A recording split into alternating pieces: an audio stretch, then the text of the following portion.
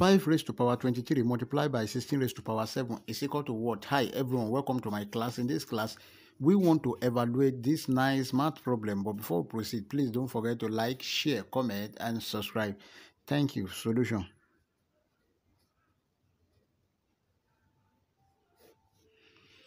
We have 5 raised to power 23 multiplied by 16 can be written as 2 raised to power 4 then all raised to power this 7 uh, this is equal to 5 raised to power 23 multiplied by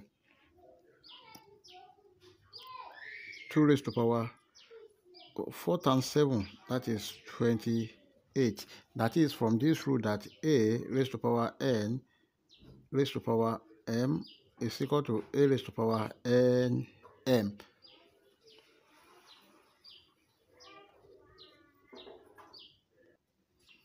Then this is equal to 5 raised to power 23 multiplied by 2 raised to power 23 plus 5.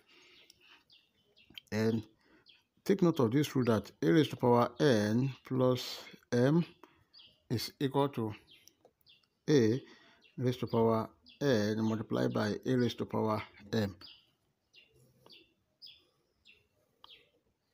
Then this is equal to 5 raised to power 23 multiplied by this is 2 raised to power 23 multiplied by 2 raised to power 5.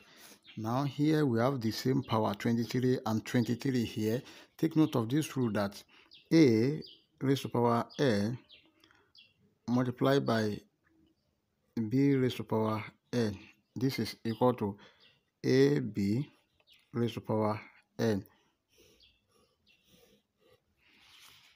Then this is equal to 5 times 2 raised to power 23 multiplied by this is 2 raised to power 5 is